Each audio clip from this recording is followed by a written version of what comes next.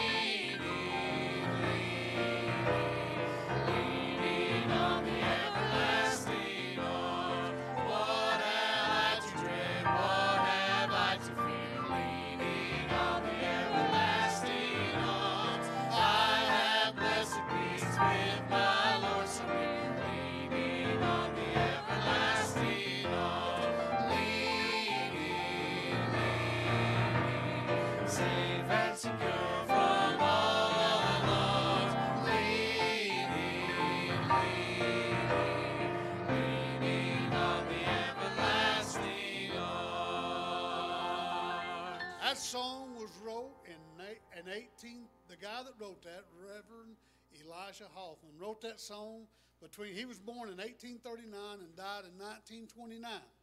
Now, in our lifetime today, we think we got it pretty bad, right? Air conditioner ain't working, we complain a little bit. Mm-hmm. Water don't run, we complain a little bit. That last verse, put it back up on the screen, right? What have I to dread? You ever think about what he faced in his lifetime? In his 90 years of living, he didn't worry about anything. Why? Because he had an unchanging God, right? That's what we've got, an unchanging God.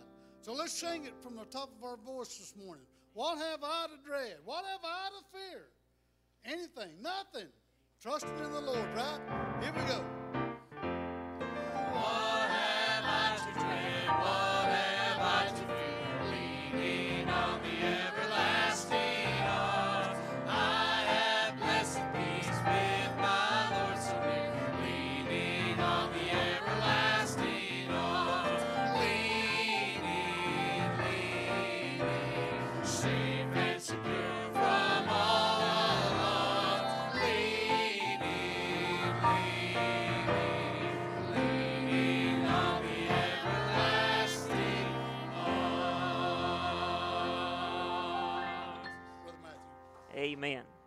Aren't you glad we can lean on Jesus? Right. Amen. Are you glad to be back in church today? Thankful that the Lord watched over us and allowed us to be here. If you're visiting with us, we are glad to have you. We have got our Connect cards back that are going to be on the back table, so when we have visitors, you can fill those out, drop them in the offering box, and we want to send you a gift to let you know that we're thankful that you came. Uh, let's just worship the Lord this morning, all right? I missed church, and I tell you what, it was different last week. The sanctuary, it was completely empty. The last time COVID hit, I at least had my wife and Pastor Lee to preach to, but this time it was just me and the camera up there and Brother Eric and Braden up there, so we're thankful for them. Can we thank them and Daniel for all they do up there? We're thankful that they're always up there working things out. Let me tell you how I want to open today's service, and then we will uh, keep singing. We have two very special prayer requests we need to pray for. Uh, Miss Shannon Cook is in UT Hospital right now with COVID. Uh, Kevin took her, I believe it was yesterday morning. She's just struggling to recover after 10 days of it. And she needs special prayer. And I told Kevin we would do that. And then Miss Sheila's brother AD is on the ventilator and he's battling COVID. And they need special prayer. So, would you join me just where you are? That's how we're going to open the service today. Would you join me in praying for a few minutes for these that are facing this? Can we do that? Father, I thank you for this time you've allowed us to come to church. And Lord, just thank you for allowing us the freedom to gather together to worship you and just to lift your name on high. And Lord, thank you for the opportunity to come to this morning. And uh, Lord, we come to a time of special prayer just to lift up Miss Shannon. Uh, Lord, as she is facing COVID and she's in the hospital and uh, Lord, just needs help recovering. Lord, we lift her up to you and we pray, God, that you would touch her body and, Lord, that you would breathe into her lungs and, Father, that you would just heal her. Lord, we believe, God, that you're able to do exceedingly abundantly more than we could think or ask. And, Lord, we don't pray just to say words, but we pray believing that our God is able. And Lord, we lift up AD to you that you would just do the same for him, Lord, as uh, he's been facing this long road with uh, chemo treatments and now COVID. We pray, God, that you would just touch his body. Lord, that you would heal him. God, we believe, Lord, through Scripture and through faith, that you're able to do anything and everything. And Lord, we ask now that your will would be done in these requests. Lord, I pray you'd meet with us this morning. Lord, help us to come with a heart of worship, to set all formalities and everything aside, uh, Lord, and just to unashamedly worship the Lord Jesus Christ this morning. Lord, you're the reason we're here. And I pray, God, you'd bless us with your presence. In Jesus' name we pray. And all God's people said, Amen. Amen. Amen. You can be seated this morning. Follow along on the screen. I stand amazed in the presence.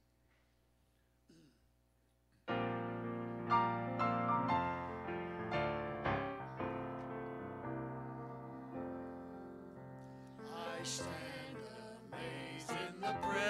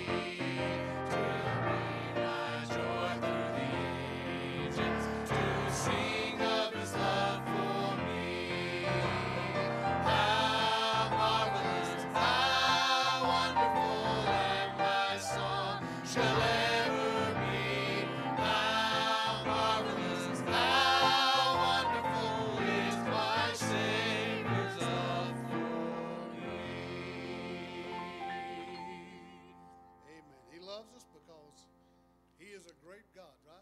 Only, I, it's hard to imagine the love that God has for us, right? Amen. Brother Rocky.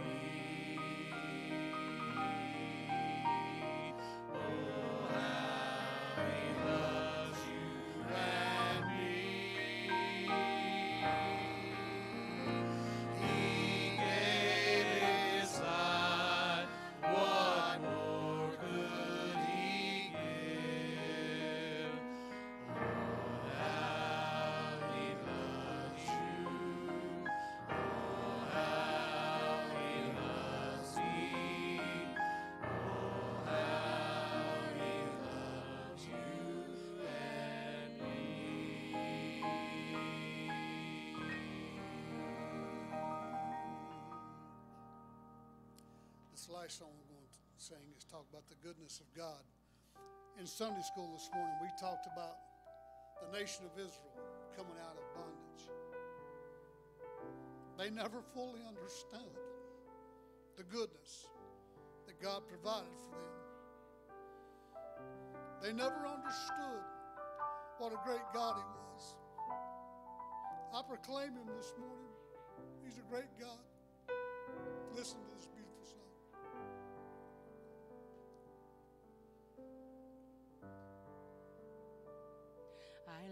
you, Lord. Oh, your mercy never fails me. And all my days I've been held in your hands. From the moment that I wake up until I lay my head, oh, I will sing of the goodness of God. Don't mind.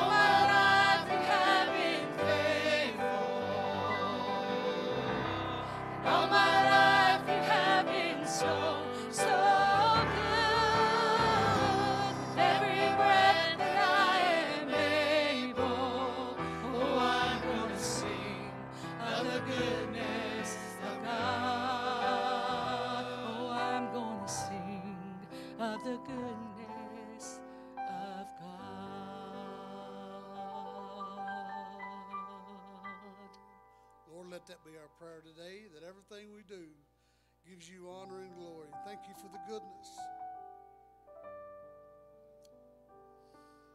And the heavens open up, you pour out your blessings upon us. Lord, forgive us for all our failures and shortcomings. Thank you for being a good, good Father.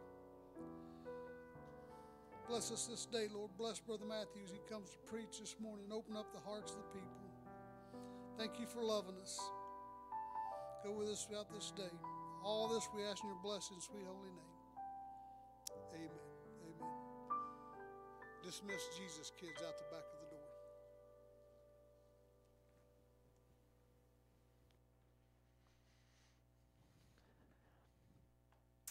Amen. Have you always found him faithful?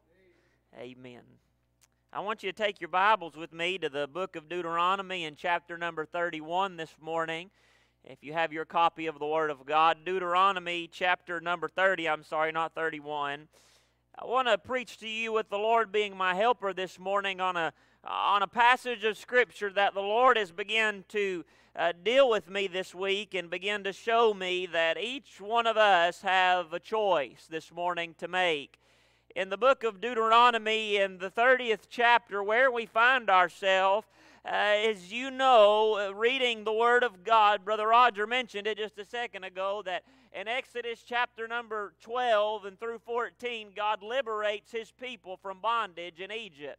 And you'll recall with me that they come by the way of the Red Sea. The Lord parts the waters and they come across the Red Sea. And uh, we find ourselves in the book of Deuteronomy taking a look into the past. You and I know that it's at the end of the book of Deuteronomy that Moses will resign his position and he'll prepare to die, and Joshua will prepare to take over. But before Moses turns things over to Joshua, he uses the book of Deuteronomy to give three subjects. First, uh, through the first half quarter of the book, he reminds the people of God, the Israelites, of where God has brought them from. He reminds them that they were in bondage in Egypt and how God liberated them and delivered them. And by the way, I think sometimes it's fitting for us as the people of God to look back and see where God has brought us from. That all my life He has been faithful. There's never been a day that He wasn't there. There's never been a mountain that I faced uh, uh, that He was not there to carry me over, through, or around. It's good for us to look back and see where God's brought us from. But it's also good for us to remember Moses uh, uses the next part of Deuteronomy uh, to remind the people of, of the law of God. Uh, uh, you know, we are still in the books of the law here in the Old Testament. And he reminds them of the Ten Commandments that were received on Mount Sinai and how they should live a holy life. But now we find ourselves in the uh, third and latter part of the book of Deuteronomy. And what Moses is doing here is he is reinstating the covenant covenant that God made with his people. Preacher, why would he do that? There has never been a time that God has withdrew from his side of the covenant, but there have been a many of times that you and I have withdrew from our side of the covenant. If you'll recall uh, the Old Testament history with me, uh, you remember that they sent two spies, Joshua and Caleb, into the promised land. Uh, they went into the promised land, they came back with fruit from the promised land, and they reported to all of the people, and they said, Let's go do this. Let's overtake this land. God's given it to us. Uh, uh, but you remember the other people, they began to be afraid uh, and not believe the word of God. God had told them, I will give you the land uh, uh, that I've promised to Abraham, to Isaac, and Jacob. Uh, the land where the Canaanites dwelt, that land is yours. But they did not believe the promise of God. Can I tell you this morning, as a side note, that if you and I do not believe the promises of God, we will never have victory in our life life. Uh, uh, they said, No, we're not going. They began to persuade the crowd that there were giants in that land. Preacher, why are you giving me the backstory? Because you need to know to know where we're at. They begin to tell the people, we can't do this. There's too many giants in that land. And uh, you'll remember what God told Moses to tell them because of your unbelief. Uh, uh, you will wander one year for one day in the wilderness. That it took them to spy out the land was 40 days. So for 40 years and 40 nights, uh, for 40 years, they uh, wandered around in the wilderness. If you'll read the Old Testament, uh, you'll see where God literally told told them everywhere to go. Uh, and they would go to that place, and God would say, I will not give you this land. Uh, uh, there was a few that He would say, I've given this to the descendants of Lot. Uh, uh, God would not give them their own place to dwell. Because of their disobedience, they wandered in the wilderness for 40 years. The Bible will tell us in the book of Numbers and in the book of Deuteronomy that every person from 20 years and older had to die in the wilderness because of their unbelief. When you and I don't believe the promises of God, there's consequences. We can't expect to live in victory if we do not trust in the Lord. You remember what the psalmist said? Those who trust in the Lord will rejoice. And God's made some promises to you and I. So here we are in Deuteronomy chapter number 30.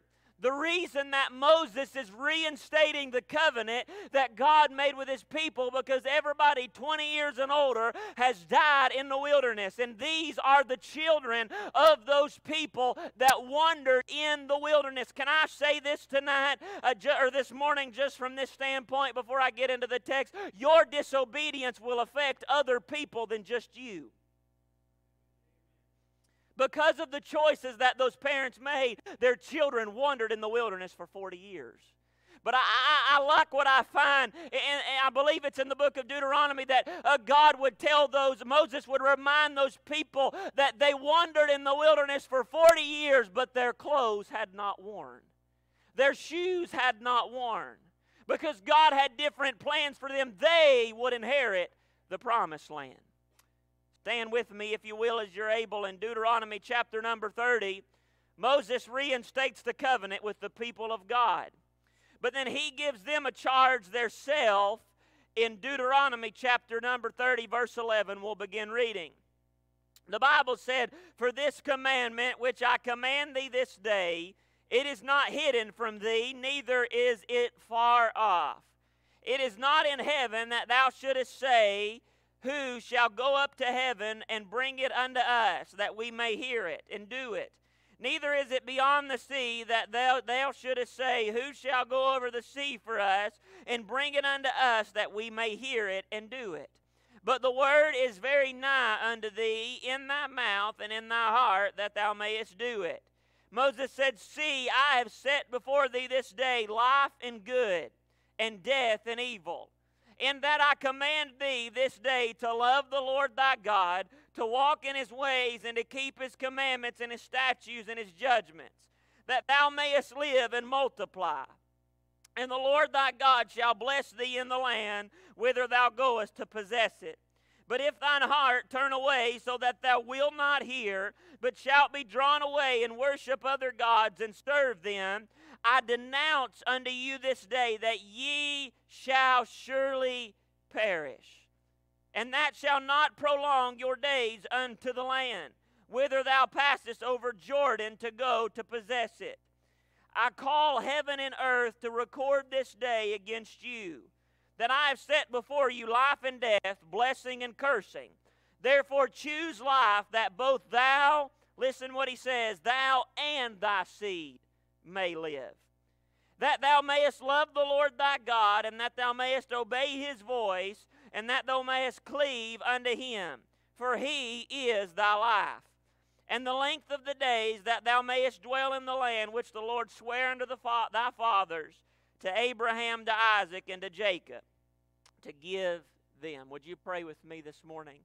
Father, I thank you for this time, Lord. Thank you for the time of singing, Lord, that we can look back that all of our lives you have been faithful. Lord, thank you for this time to come to open the Word of God and to break the bread of life. Lord, I believe the most important time of a service that you said by the foolishness of preaching you would confound the wise. And Lord, I pray that you would come and Lord, that you would enlighten our hearts and our understanding as we look at your Word. God, I pray that you would dissect our hearts with the Word of God that we may leave here a different people than when we came. Lord, I pray that you'd help us to realize that we have a decision today to choose choose between life and death, between good and evil. And Lord, I pray, God, that you'd help us this morning. Lord, I pray that you'd bind every demon of hell from this place as we look at your word. And Lord, I pray you'd come and preach to us. I don't have the ability to do it without you. Lord, I pray you'd come and we'd give you the honor and glory for it. Hide us behind the cross. In Jesus' name I pray. You can be seated.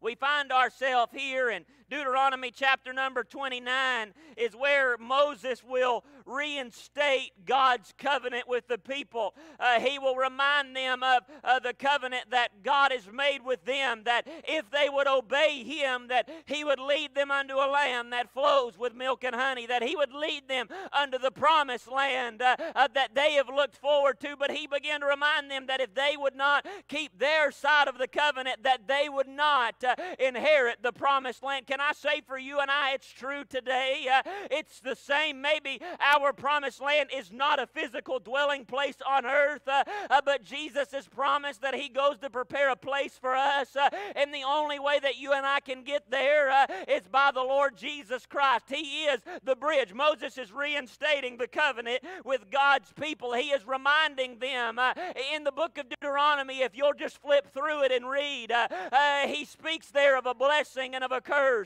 And you read through the book of Deuteronomy and you'll see that that blessing, Brother Roger, uh, was that promised land that they could inherit, uh, uh, that they never have to work for anything, uh, uh, that everything they needed was right there, uh, that it was better than they could ever imagine. But Moses begins to remind the people, can I tell you today that Moses was not a, so, a soft spoken man of God? He told it like it was.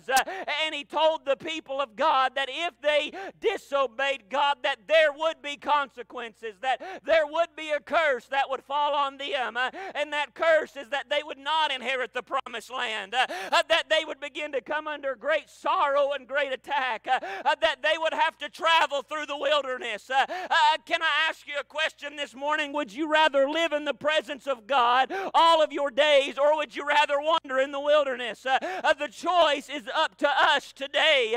David said, I would rather be a doorkeeper in the house of the Lord than to dwell in the tents of wickedness. you and I have a decision of the people of God uh, uh, that if we're going to live according to the covenant of God, if we're going to live according to how He says to live, uh, or if we're just going to go about it our way and waste our life.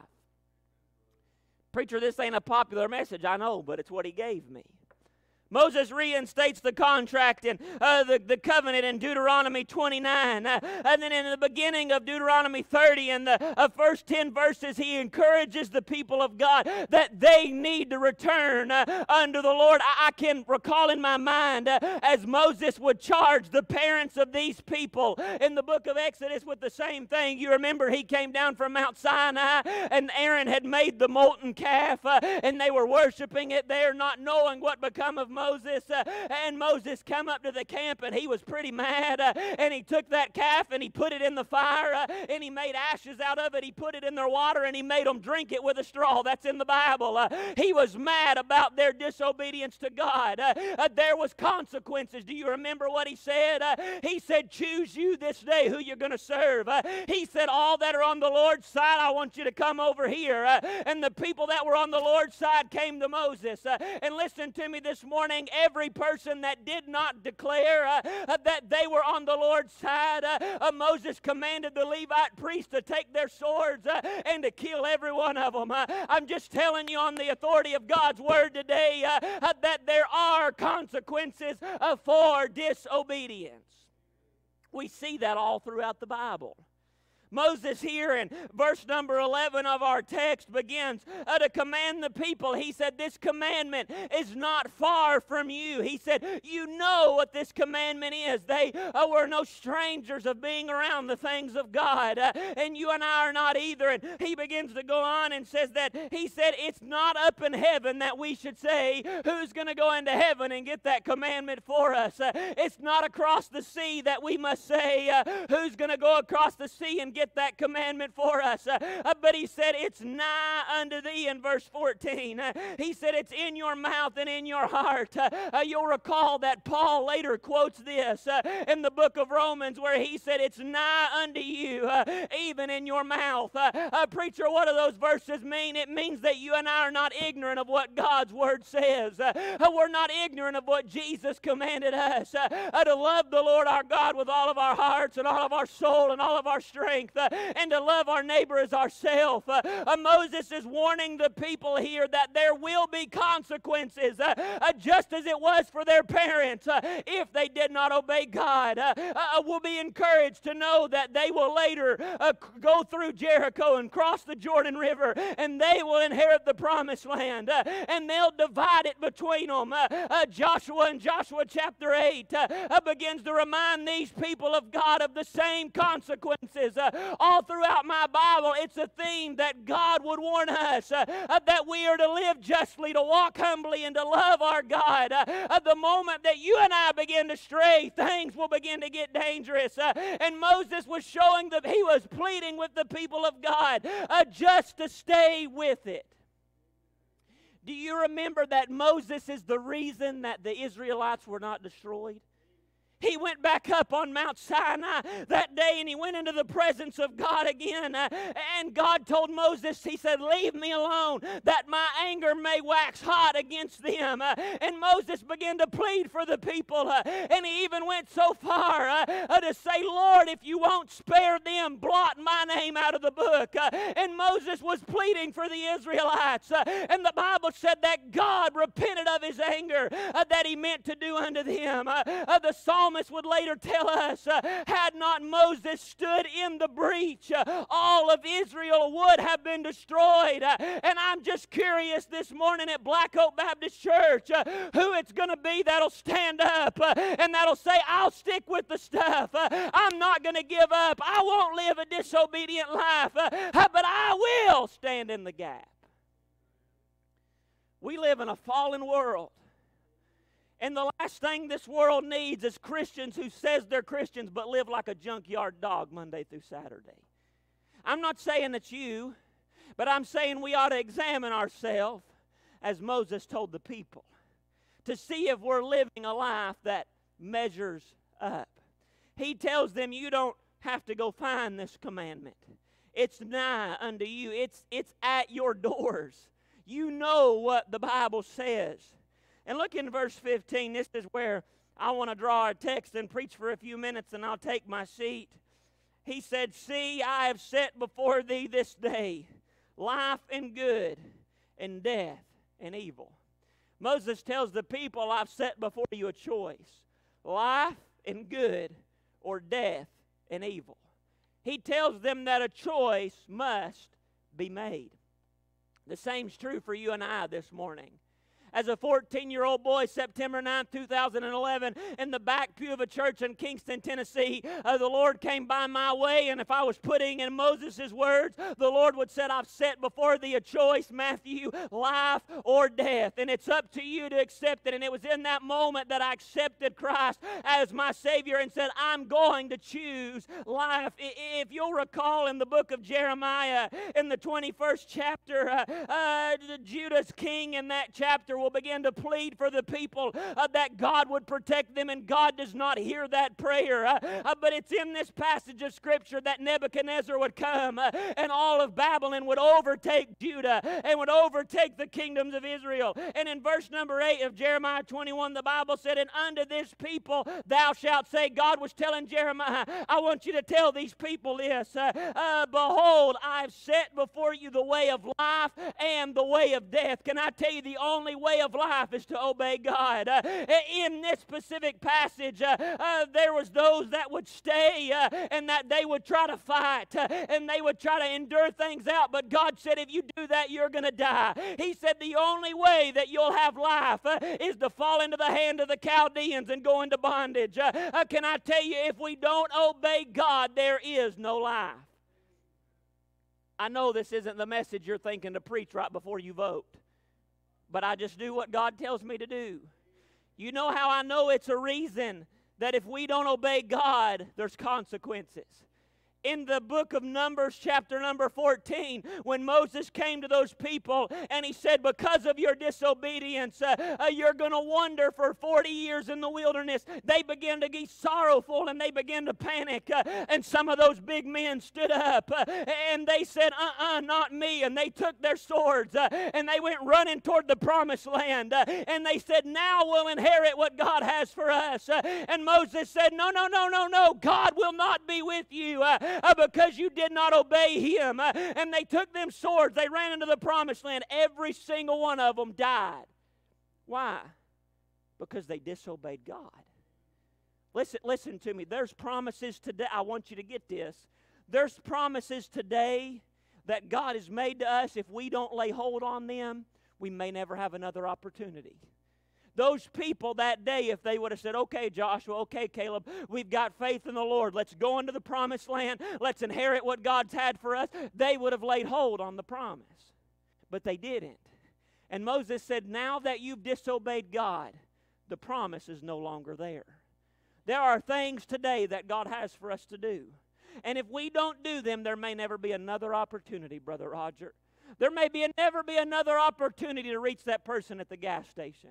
There may never be another opportunity to reach that family member uh, that's still sitting at home while you're in church. There are things today uh, uh, that God wants us to do that we need to be obedient and we need to do, or there'll be consequences. I'm just preaching you the Bible this morning. Jeremiah had the same thing it's life or it's death. Had the people that day as they walked up on uh, Jericho said, We ain't doing it, it's life or it's death. They walked up on the Jordan River, it's life or it's death. There are decisions that must be made. Look in verse number 16 of our text. The Bible said, In that I command thee this day to love the Lord thy God to walk in his ways and to keep his commandments and his statutes and his judgments, that thou mayest live and multiply, and the Lord God shall bless thee in the land whither thou goest to possess it. What's the way, preacher, for life? What's the way? Uh, is to obey God. Uh, in Deuteronomy chapter number 6 and verse number 5, Moses would say, And thou shalt love the Lord thy God with all thy heart and with all thy soul. Uh, uh wait a minute, preacher, that sounds familiar. Uh, uh, Jesus said in Matthew 22 and verse number 37, Thou shalt love the Lord thy God with all thy heart and with all thy soul and with all thy mind. He said the first commandment is the great commandment and the second is like unto it that thou shalt love thy neighbor as thyself. Jesus was quoting the book of Deuteronomy, and he's saying today that the only way to live is to obey God. It would, this was a very vital message for the people and the process that they were going into. It was a very vital message for Moses to remind them the covenant that God had made uh, and that they would have some dark days ahead, uh, uh, that they would have more challenges to face than just the Red Sea, uh, uh, that there would be cities that they would have to conquer, there would be rivers that they would have to cross. Uh, but what, listen to me this morning, what Moses was telling the people is God is going to keep his side of the covenant Uh, if you'll just keep your side of the covenant and obey, uh, uh, you'll see God do great things. Can I tell you this morning, if we will be a people that will believe the Lord and trust in Him uh, and obey Him, we will see Him do great and mighty things uh, uh which we know not. the Israelites needed to know before they got to Jericho, before they got to Jordan, and they needed to be reminded before they got to the promised land that they didn't get there on their own. and the only way they made it was because God made a way. Uh, uh, can I tell you, the only way you and I will make it to our promised land one day uh, is because God has made a way. But there's only one way, and that's to be obedient. There's only one way for the, the children of God to live here, and that's to obey God. That's to love God. That's to do what He says. Look in verse number 19. I want you to see this that Moses said, I call heaven and earth to record this day against you. That's pretty serious, ain't it? Moses is calling that heaven and earth would record their decision that I've set before you life and death, blessing and cursing. Therefore, choose life that both thou and thy seed may live forever that verse 20 that thou mayest love the Lord thy God, and that thou mayest obey his voice, and that thou mayest cleave unto him. What's that next part say? For he is thy life. Can I tell you this morning that we have a decision to make to obey God or to not obey God?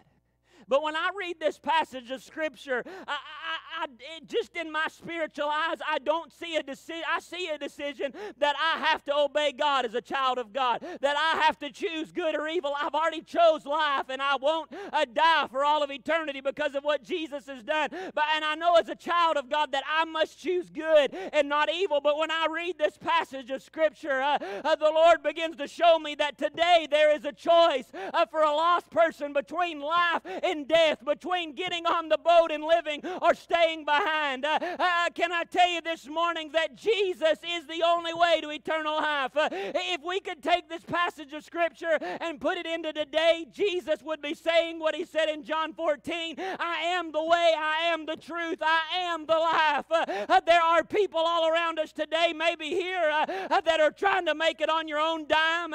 You're trying to ride in on Papa's coattail. But the only way to be saved, what did Jesus tell Nicodemus, Rocky? Uh, uh, thou must be born again. I, I see a more crucial decision uh, uh, than life or death, than good or evil uh, uh, for the Old Testament people. Uh, I see a spiritual decision that has to be made that you and I have to choose to live and to trust Christ or to deny Christ and to die for all of eternity. Preacher, how do you know that's true? In Matthew chapter 7 and verse number 13, Jesus said it was. He said, Enter ye in at the straight gate, for wide is the gate, and broad is the way that leadeth to destruction. And many there be in which go in thereat, because straight is the gate, and narrow is the way that leadeth unto life, and few be there that find it. Uh, I just came to tell you this morning uh, that this world is falling apart, uh, uh, that there are no more things that I'm looking for to be fulfilled. Uh, I'm just listening for a trumpet, Brother Raji. Uh, brother, I just said your names together, Brother Raji, Brother Rocky. I'm listening for a trumpet because there's coming a day uh, that the Lord will come again, uh, or there's coming a day that every one of us will die. And please hear me this morning. I can feel all of hell trying to fight me tell you this uh, uh, that there are decisions that have to be made today. Uh, uh, whether you say, I'm going to choose life and I'm going to live and I'm going to believe what God said, I'm going to trust that He is God's Son. I may not understand it all, but I choose to believe by faith that He is the Messiah. He is the way, He is the truth, and He is the life. Or you're going to say, I choose uh, to deny that Jesus is Lord. Uh, I don't need Him. I don't want anything to do with Him. And you will suffer the consequences. Y'all turn me up just a little bit, please. I know I've never asked that before. I'm losing my voice. There's a choice that must be made. And it's no light decision that we must say yes to Jesus.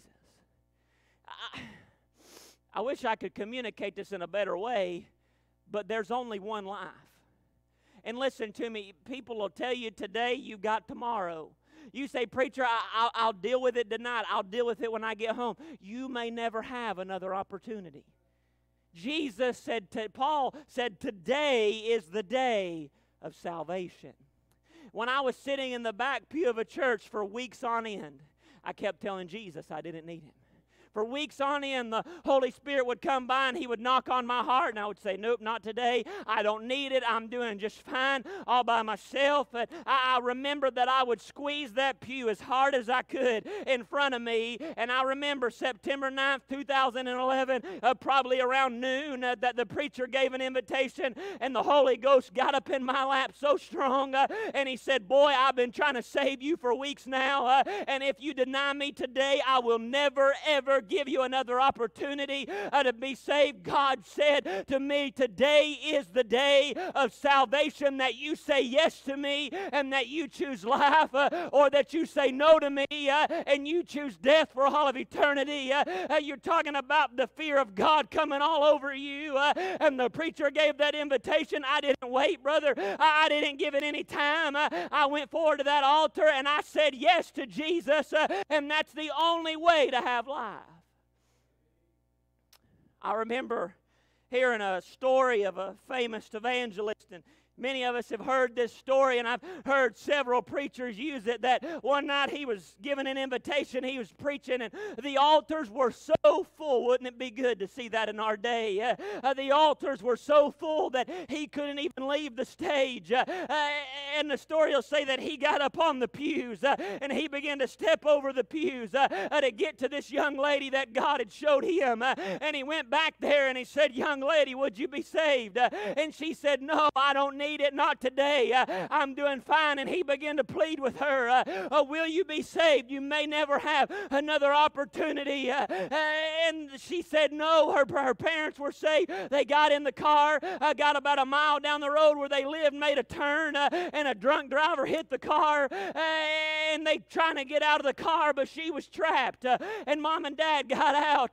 they called 911 and they were coming to get her out, but before they could, there was a gasoline leak and that car went up in flames. Uh, and mom and dad got up next to that car uh, and they began to plead to that little girl, uh, honey, ask Jesus to save you right now. Uh, you better do it. They, they knew that she didn't have hope. Uh, and she said, Mama, I can't get saved. Uh, I told Jesus no back there and he's not knocking on my heart anymore. I don't tell you that to scare you, but I just tell you to tell you that life is brief.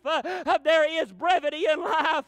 And you must choose today, uh, this morning in Black Oak Baptist Church, uh, uh whether you're going to choose life uh, and live for God or whether you're going to choose death.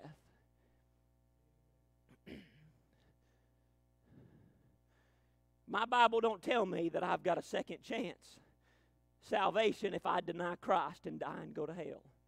There is no way out. It's not preached in our churches anymore today, but Jesus spoke more on it than he ever did on the kingdom of heaven uh, because he was warning people that hell is a real place. You see, the people of God in Exodus or Deuteronomy 30, they made a decision that we're going to obey God in this life. That God had already made a covenant with them. Uh, uh, they were already sealed in, uh, eh, but they made a decision I'm going to serve God in this life, but it's more serious of a decision that you and I must make that if we are going to accept Christ and live for all of eternity. If I ask you the question today, I don't want you to answer it out loud.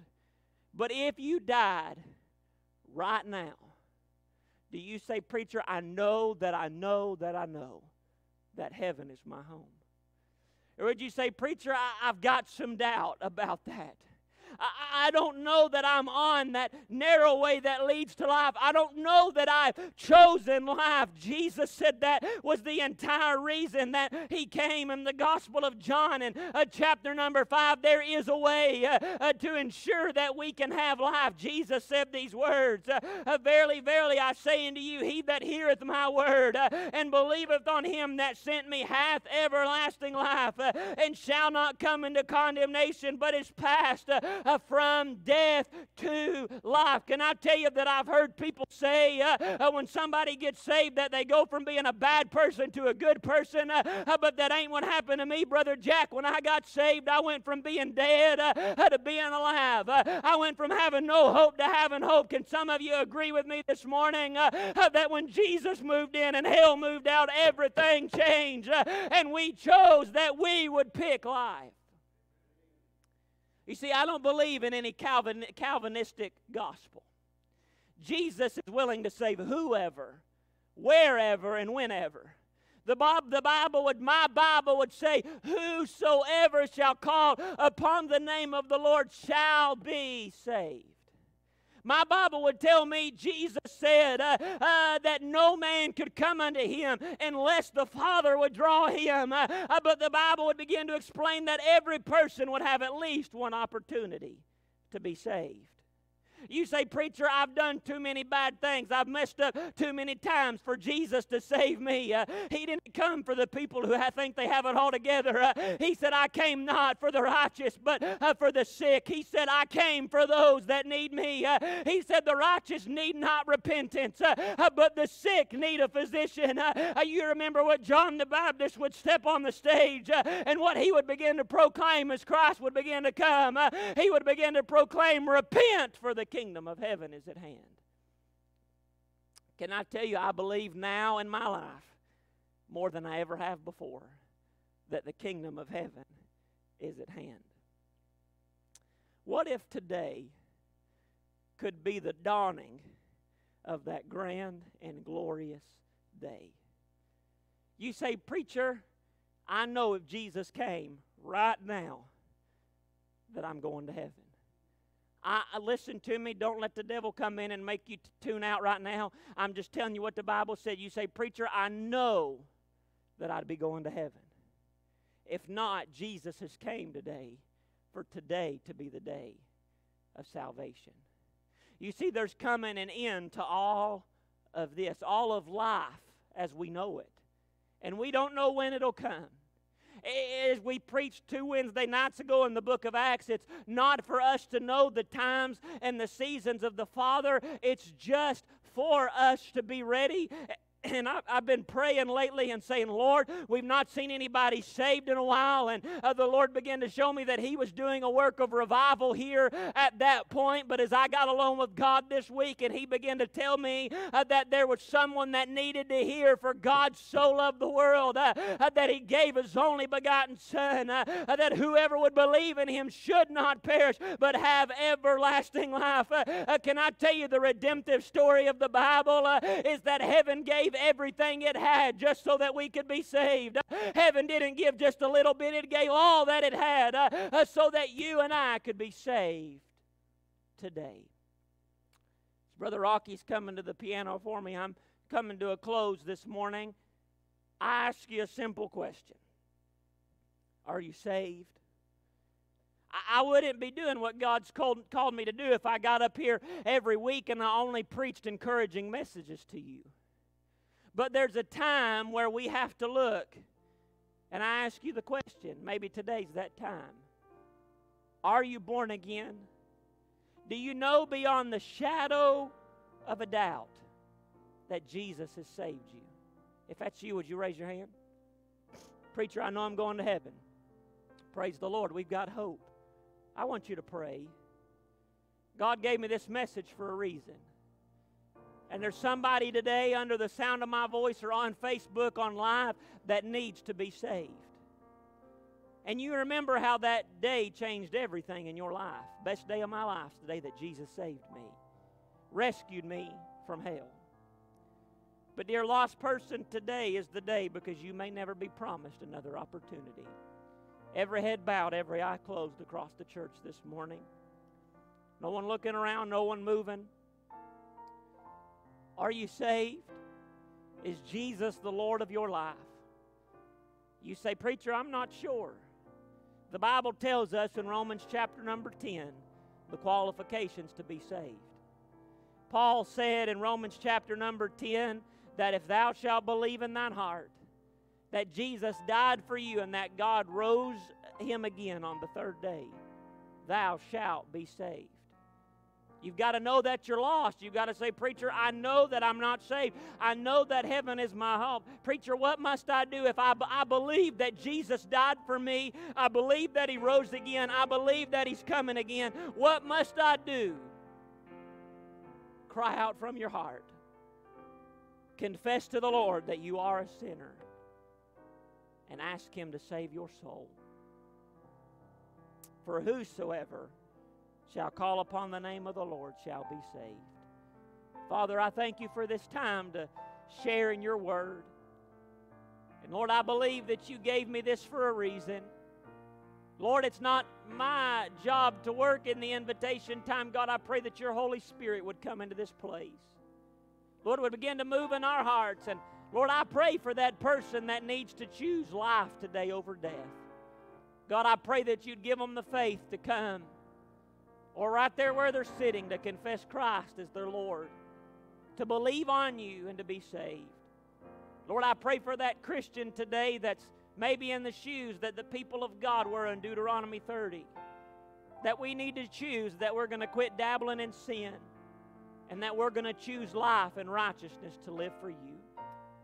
Lord, I don't know what you need to do in this invitation time, but God, I pray you do it prayed bind the enemy in Jesus' name I pray. As we stand to our feet, Brother Roger begins to sing, if you need to come, I'm going to ask you to come this morning, whatever your need may be.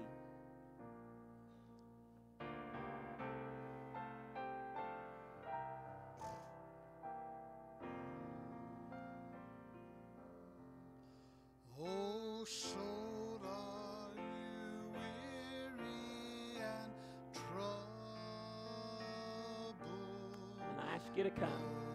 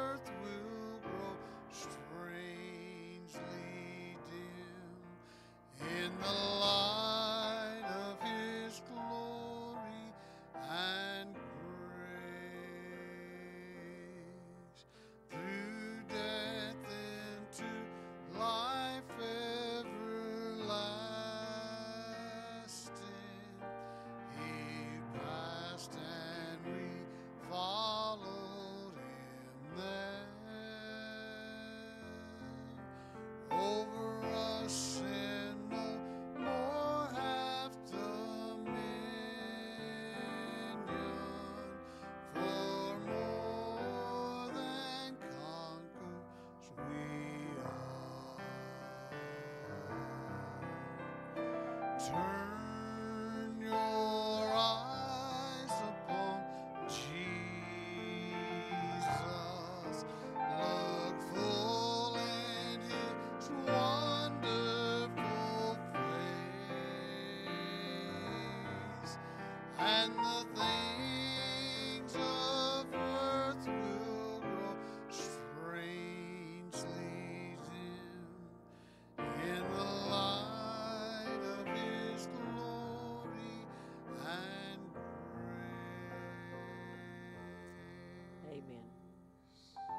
can be seated this morning.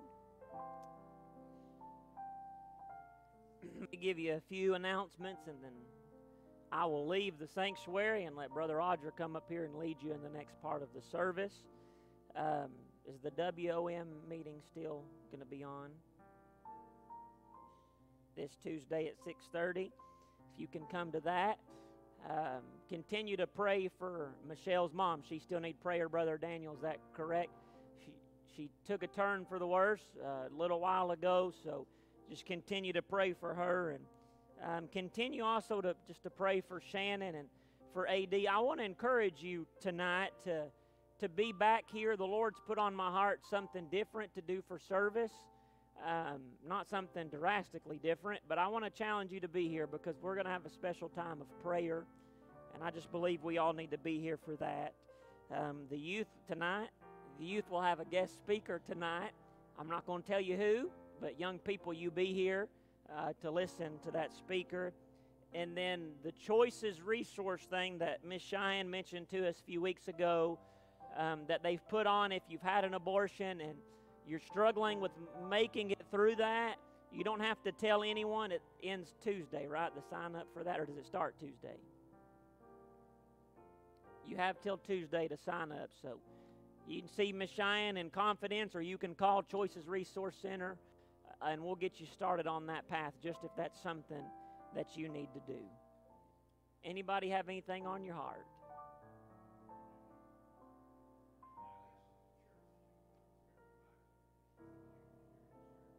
Okay. Let's remember that. What night is that? Saturday. What time? Okay. Saturday night. Uh, this Saturday night, there's going to be a worship night in downtown Clinton that the Clinton Baptist Association is putting on just to try to be an encouragement in the midst of this time. If that's something you're interested in, see Jessica after service. Um, grab somebody so we can give you more information on that. We are participating in that, I believe. Um, so you just be praying about that. Let me say this before I leave any and every service. If God's dealing with your heart, don't leave. You find me, I'm one of the last ones to leave. Find Brother Roger, find Jamie or Kayla, grab somebody. Let somebody talk with you. Let somebody pray with you, okay? I know the live people won't be able to hear him, but Brother Zach, will you close us in prayer? Then I'll leave. Brother Roger, you come and you take care of that.